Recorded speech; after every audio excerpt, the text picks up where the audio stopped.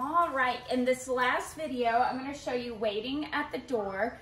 So um, we only started this behavior about midway through the training because I noticed, good girl, she also found the little bell right here, good girl. I'm gonna reward her um, even though we're not going outside because she found that bell on her own to start hitting it. And because I'm sitting by the front door, she's really ready to go out. So I'm gonna hold her back, come here. Um, so halfway through our training, I noticed whenever I was opening the doors or gates or anything like that, uh, Miss Lily was rushing through. So um, it, it concerns me because I don't want her to run out your front door, which could potentially be very dangerous. So I want you to practice with her at the back door, um, practice at the front door. If you do it at the front door, have her on leash for safety, okay? So our cue is wait.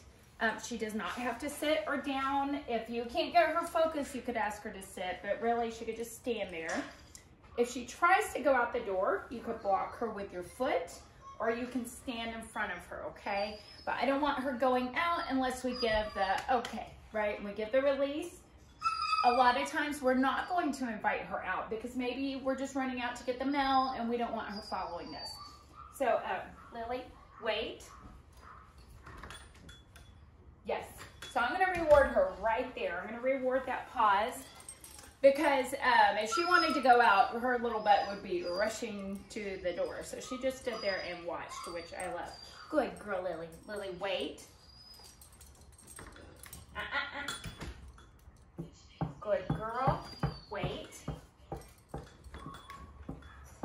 Yes, good girl. Good girl, now. Good girl. Good, okay.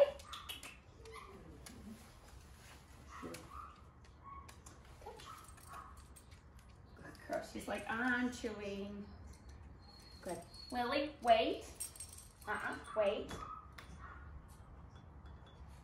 Yes, good girl. That's perfect. So I have her on the leash, so obviously I could stop her if she did try to go out the door.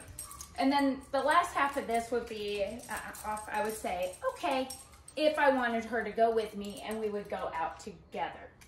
I don't have shoes on and it's super duper cold, so we're not gonna do that part right now. Even though I think she's ready to go out, I'm gonna take her out in the back. But wait is your cue, practice in the house, practice front door, back door, practice at the garage.